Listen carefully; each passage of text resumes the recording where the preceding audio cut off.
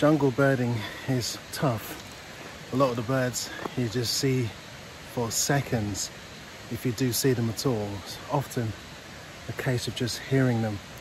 And um, I think one of the things to to remember when you're out birding in such situations is that you don't need to have something heavy around your neck. That's why I have my Ultravids really light. I forget they're there sometimes, even though instinctively I grab them, obviously when I uh, when I see a bird. But uh, they're great for travelling with, and uh, superb to look through. Seen some great birds with this.